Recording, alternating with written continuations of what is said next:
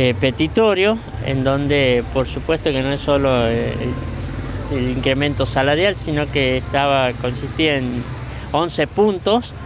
y que, bueno, en la última reunión este, hemos llegado a un acuerdo por el tema de salarial, que en primer lugar este, nosotros aspirábamos a que la cláusula gatillo sea mes a mes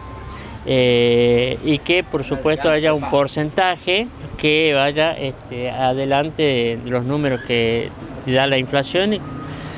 Eh, ese incremento es lo que nosotros pedíamos, el 15% y la cláusula gatillo. Eh, de alguna manera vamos a sentarnos de nuevo dentro de 120 días para este, se dé un incremento, una recomposición salarial y a partir de ahí tratar de ir adelante de la inflación con la cláusula gatillo. Arevalo, precisamente se aceptó el ofrecimiento del gobierno, ya que la propuesta de ATE no, no fue aceptada por parte de las autoridades del gobierno.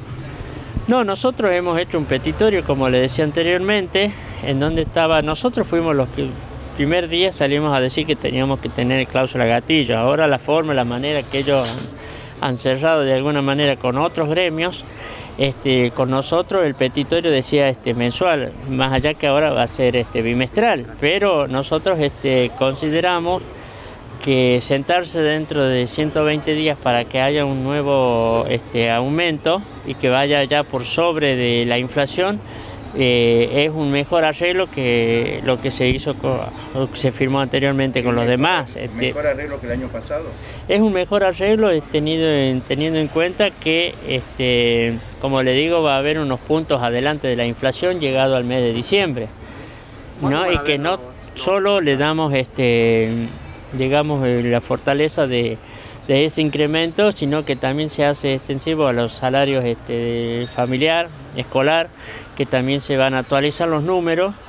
y que, bueno, también por supuesto el tema de las comisiones de servicio, que también se va a actualizar y todo eso es, eh, digamos, un paliativo más que le entre al bolsillo del trabajador. Aparte, también este, hemos hablado los otros temas que veníamos diciendo para los empleados públicos, que es el tema de una recategorización y que bueno, seguramente se va a seguir este, trabajando para que en una escala este, de la recategorización, de qué manera se pueda este, concretar, este, de qué forma se lo va a implementar este, la recategorización. ¿Cuándo los empleados públicos van a ver eh, este incremento salarial bimestral en sus sueldos? Eh, lo van a ver reflejado ahora con el mes de marzo, que se cobra en abril.